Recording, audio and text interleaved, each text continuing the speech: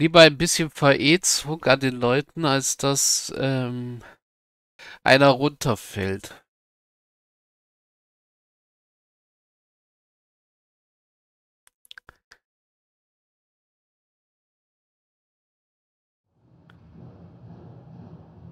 Au. Schwere Verbrennung. Schwere Verwundung.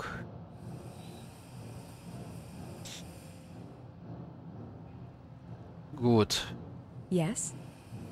I'll see what's ahead. Damit können wir, glaube ich, noch einigermaßen arbeiten, hoffe ich mal. Aber es ist niemand abgestürzt.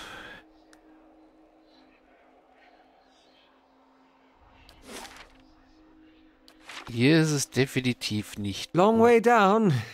Ganz schön tief, ja. Das hier ist eine Verteidigung der Zwerge. Und ja, hier sind interessant aussehende Kanonen schon mal eingelassen. Aber ich will die ganz großen Püster sehen.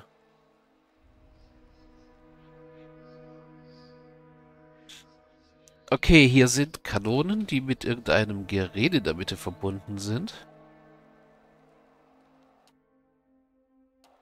Da ist unser Freund von gerade eben, so wie es aussieht.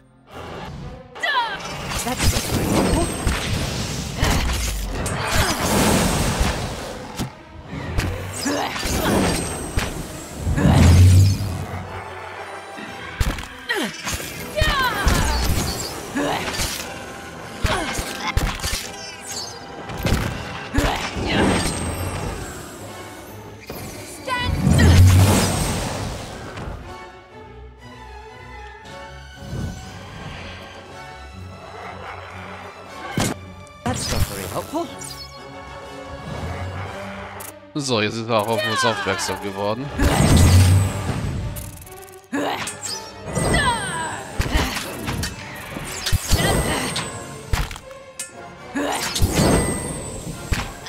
Not even throwing a dagger. I have Yes? So, Perhaps rest is in order? Was habe ich gerade gefunden?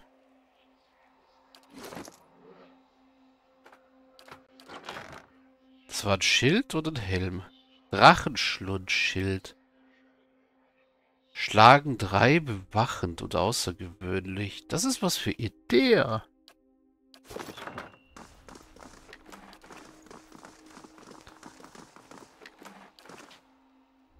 Gavon zeigen die Reise der Pagonen in die Weißmark. Diese Kanonen sind eingefroren und unbeweglich. Mann, haben die lange Läufe teilweise.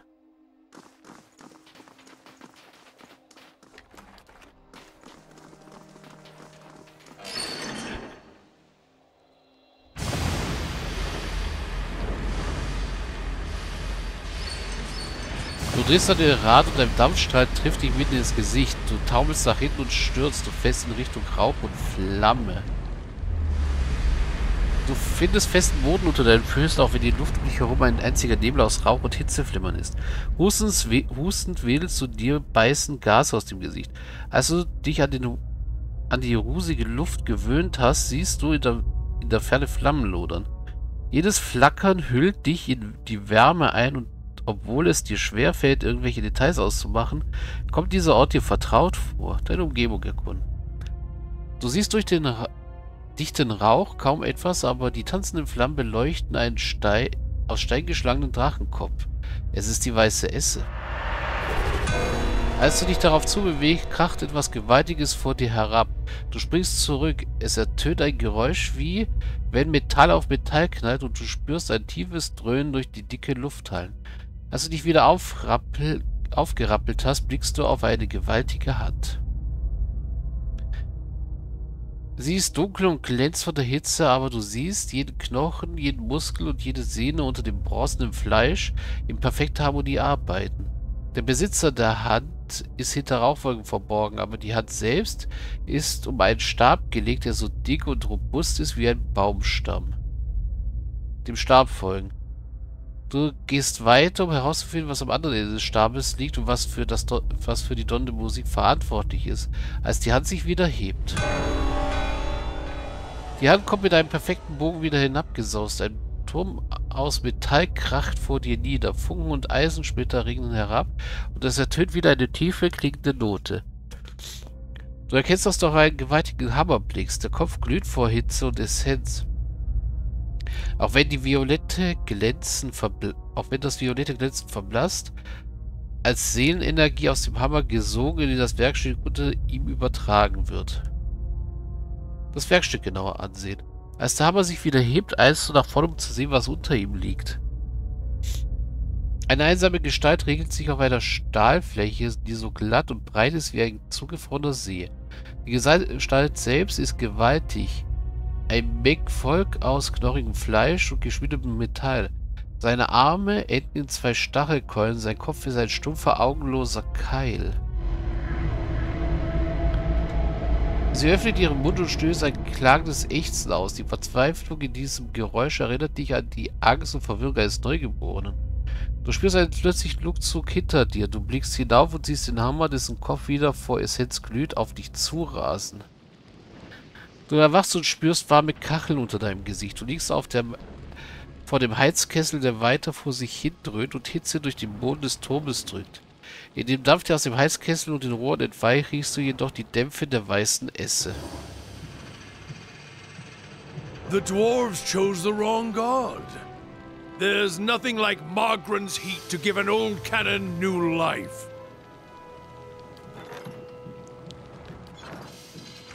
Ja, damit müsste das mit den...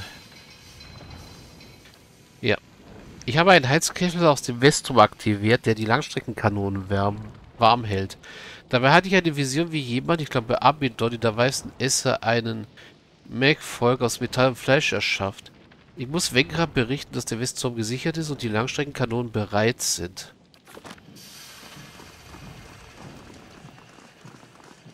Ja, die sehen auch jetzt bereit aus. Die sind nicht mehr gefroren.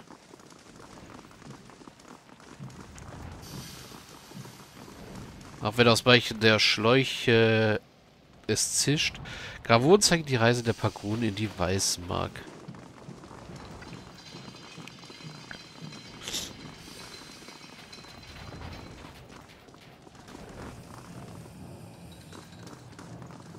So, das heißt, wir wollen hinab. Äh, erstmal zur weißen Esse.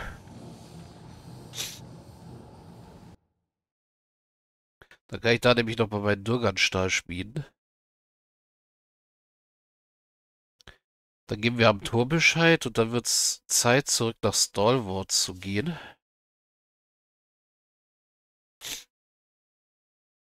Noch einmal zu rasten. Äh, Dann müssen wir uns irgendwie in diese Festung da einschleichen, die da gebaut wurde und den Anführer ausschalten.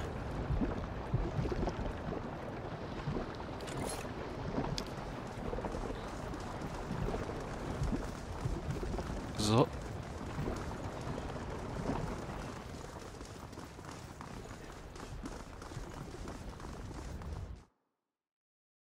Na toll, damit komme ich jetzt hoch in die Herrenhalle. Da wollte ich eigentlich nicht hin, ich wollte eigentlich gleich zum Haupttor.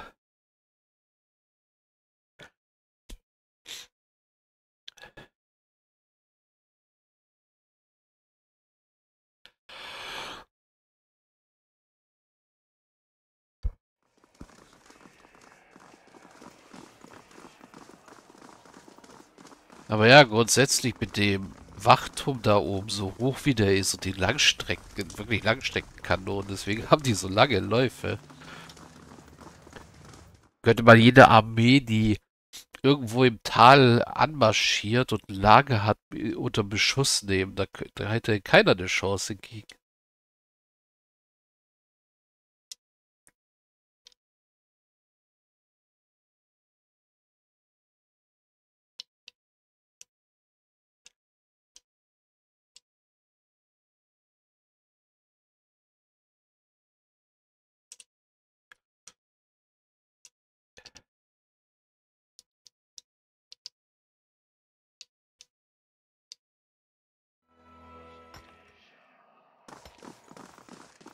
So, das war Wenkra. That was incredible! Whole Forge spit flames when you did whatever you did. And the smoke! Ha! I saw it from here! Das war unglaublich. Ich weiß nicht, was du gemacht hast, aber die ganze Esse hat Flammen ausgespuckt und der Rauch. Ich habe ihn von hier aus gesehen. And now to see about these cannons. Da sehen, wir's mal, da sehen wir mal nach diesen Kanonen. Sie reibt die Hände ineinander. Auf dem Weg zur Tür fällt ihr plötzlich etwas ein. This is for you. Found it while we were cleaning out the battery. Das ist für dich. Wir haben es gefunden, als wir die, die Batterie aufgeräumt haben. Ich habe ein paar Fragen. Was hast du auf dem Herzen? Also, wie funktionieren diese Kanonen? if only I could show you. Sie die Stirn, wenn ich es dir doch nur zeigen But könnte. everyone else is all worried about accidents and injuries. So they've said I can't fire him until there's a real need. Alle, aber alle anderen sorgen sie sich um Unfälle und Verletzungen. Also haben sie gesagt, ich darf sie nur abfeuern, wenn es wirklich dringend nötig ist.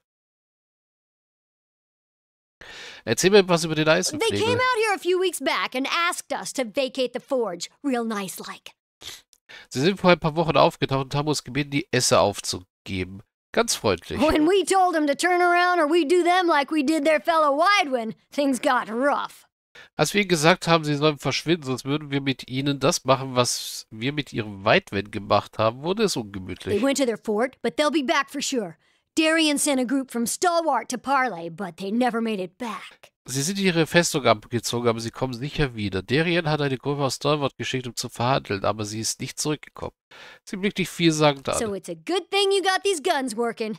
We'll be ready for those raid Sarens when they come for us. Es ist also gut, dass du diese Kanonen repariert hast. Wir sind bereit, wenn die Rezeraner kommen. Was tust du hier I'm draußen? taking care of these lovelies so they can take care of us. Ich passe auf diese Schätzchen auf, damit sie auf uns aufpassen können. Sie blickt liebevoll auf die Kanone. Du magst Explosionen, oder? back in Stalwart, I learned everything Tana knew about black powder, and a few things she didn't. Die Straße. In Stalwart habe ich alles gelernt, was Tyler über Schießpulver wusste und manches, was sie nicht wusste. Them she wasn't so happy about. Über die war sie nicht sonderlich glücklich. Sie runzelt die Stirn und wirkt kurz After abgelenkt. what might have been a small mishap in the Stalwart mines, they sent me here to put my talents to better use. Nach einem kleinen Missgeschick in den Minen von Stalwart haben sie mich hierher geschickt, wo ich meine Talente besser einsetzen kann. Dann lebt Headed wohl. up the tower, gonna make those cannons shine. Ich bin unterwegs auf den Turm. Die Kanonen müssen glänzen. Sie hüpft durch die Tür hinauf. So. Mach die Kanonen bereit. Wenger war ganz aus dem Häuschen, als sie von den Kanonen gehört hat. Sie ist unterwegs auf dem Westturm, um sie auszuprobieren. So, jetzt haben wir eigentlich nur noch die Kopfgelder. Ah ja, und das mit dem den Kopfgeldern. Gibt es hier direkt einen Weg raus? Ja, nur den hier unten. Ich muss ja sagen, ich finde es ein bisschen interessant, dass sie hier angefangen haben, die Festung zu erneuern. Aber hier unten das Problem.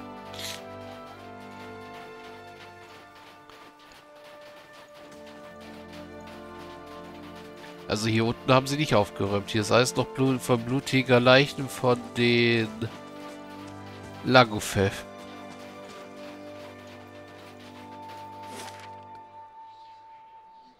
Oh, ich kann direkt in die Gießerei reisen jetzt. Ah, praktisch. Wir machen einen Abstecher zur Weißsteinsenke. Damit ich dort das, damit wir dort das Kopfgeld holen. Und dann geht's nach Solwort das Kopfgeld abgeben und rasten. Und die andere Quest abgeben. Also die andere Aufgabe.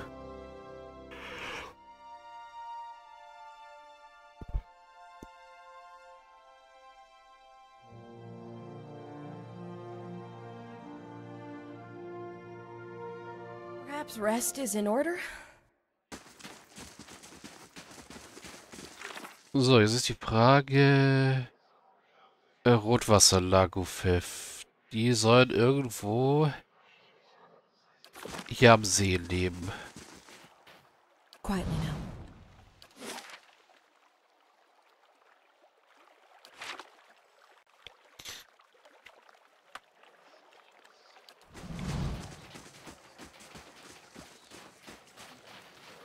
Ich höre hier etwas. Mal gucken, ob ich hier auch was sehe. Und ja, ich weiß, meine Leute sind ein bisschen angeschlagen. Okay, hier ist nichts. Ah, hier sind sie.